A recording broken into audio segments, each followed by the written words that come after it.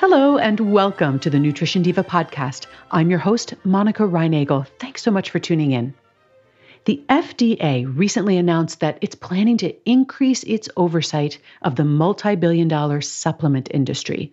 Now, that would include everything from the calcium and multivitamins at your local drugstore to those questionable weight loss and virility supplements that you see pitched on late night cable TV stations. According to the FDA, three out of every four Americans takes a dietary supplement on a regular basis. And for older Americans, that rate rises to four out of five. Meanwhile, one in three of our kids are taking supplements. Now, all of these are currently regulated under guidelines known as DSHEA, that stands for Dietary Supplement Health and Education Act. According to these regulations, manufacturers are responsible for ensuring that their products are safe and correctly labeled.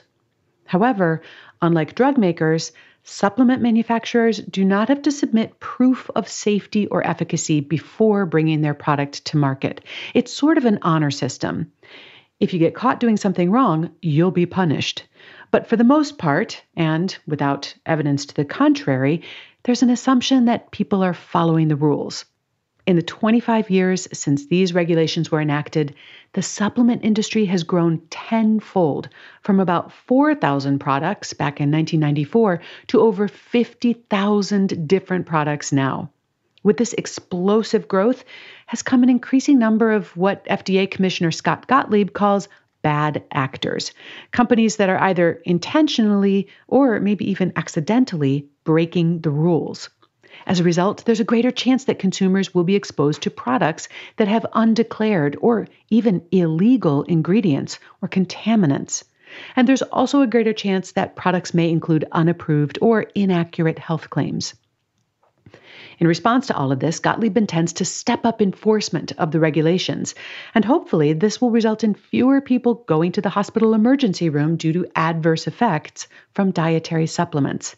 In 2015, for example, there were 23,000 such visits. But to tell you the truth, even when manufacturers are strictly obeying the rules, there's still a lot of potential for consumers to be wasting their money on supplements that simply aren't doing anything for them. So let's talk about how dietary supplements are marketed. With the exception of a small number of approved claims, manufacturers are not allowed to say that a dietary supplement will cure, treat, or prevent a specific disease or symptom. They're limited to what we call structure function claims. For example, they're not allowed to say that a calcium supplement will prevent osteoporosis. They can only say that calcium supports bone health. Manufacturers and their marketing teams have long since learned how to communicate in code. Supplements don't reduce arthritis pain, they maintain joint flexibility. They don't reduce cholesterol, they help maintain healthy cholesterol levels. They don't fight viral infections, they support a healthy immune function, and so on. But look, no one is really fooled by this. Just as supplement manufacturers have learned to talk around the regulations, we consumers have learned to read between the lines.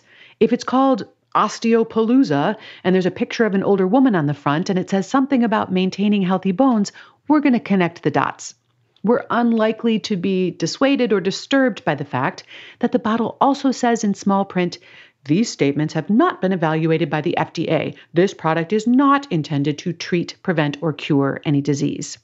I mean, has that ever stopped you from buying a supplement? I'm really glad that the FDA will be increasing its oversight of the supplement industry, and hopefully it will keep some people from getting hurt. Unfortunately, stepped up oversight probably isn't going to make much of a dent in the tens of billions of dollars that we waste on supplements that are completely legal and yet largely ineffective. That responsibility falls on us consumers. Just because a given nutrient supports bone health or immune function or brain health doesn't mean that taking it will reduce your risk of developing osteoporosis or cancer or dementia. And in fact, a growing number of studies demonstrate that most of the supplements we take do not have any demonstrable benefits in terms of our long term health or disease risk. If you've been listening to the podcast for a while, you'll know that for the most part, I'm not a big fan of most supplements. Not only are the benefits questionable, but in some cases, they may actually do harm. Fish oil and calcium, which are two of the most popular supplements, are good examples here.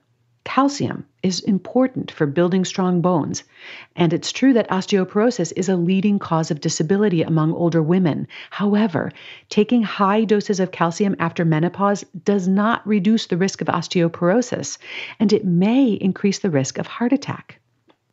Omega 3 fatty acids are important for heart health, and heart disease is the leading cause of death. And yet, it's become increasingly clear that while eating fish is linked with lower rates of heart disease and other diseases, taking fish oil supplements is not. Now, of course, there are some situations when targeted supplementation makes sense. For example, to correct a documented deficiency. If your doctor has diagnosed you with an iron deficiency, for example, you'd probably be given an iron supplement, and it would be a good idea to take it. Supplements can also be used to address a specific symptom or concern. So, if you're taking a course of antibiotics, taking a probiotic might help prevent antibiotic related diarrhea. Or if you have arthritis pain in your knees, you might want to try a glucosamine supplement to see if it helps. But if it doesn't help, there's no point in continuing. A third reason that supplementation might make sense is to compensate for a specific nutrient shortfall. For example, if you're just unable to get the recommended amount of calcium from your diet, you might want to take a calcium supplement, but only as much as you need to fill that gap between what your diet is already providing and the recommended intake. But the indiscriminate use of random supplements to improve your health or prevent disease is just about always a waste of money. Taking a B vitamin complex, for example, will not give you more energy. And unfortunately, antioxidant supplements do not reduce the risk of cancer. Isolated nutrients just don't provide the same benefits as eating the foods that are rich in those vitamins. Taking a supplement made from powdered superfoods, for example, does not provide the same benefit as eating fruits and vegetables. And if you're already eating those fruits and vegetables, well, then you're not getting any extra benefit from taking that supplement in addition. Even worse, I've found that taking nutritional supplements often creates a false sense of security that you've got your bases covered and therefore you can just eat whatever you want. Now, in that case, not only are you not getting the benefits of eating whole, nutrient dense foods, but then you're also exposed to the negative effects of ultra processed or other junk foods that you might be eating. Look, we spend $50 billion a year on supplements that are providing little to no benefit. I think we could get a lot more benefit from spending that money on nutritious food.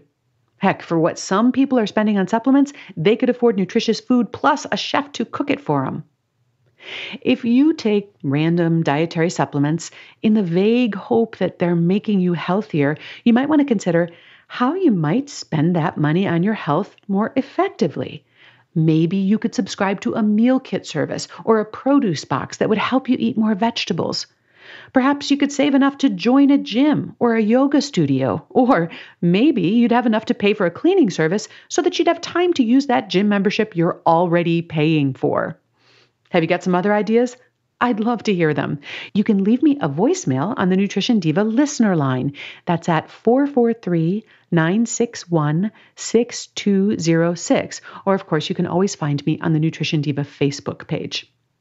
And if you'd like some help figuring out how to make your diet healthier without making yourself crazy, why not join us for the next nutrition upgrade program? It's a fun 30 day group challenge that we do just twice a year, but the benefits last far longer than 30 days. All the details are at nutritionovereasy.com slash upgrade. I hope you'll check that out. You'll find a transcript of today's episode along with the complete Nutrition Diva archives at nutritiondiva.quickanddirtytips.com. Thanks for listening and have a great week.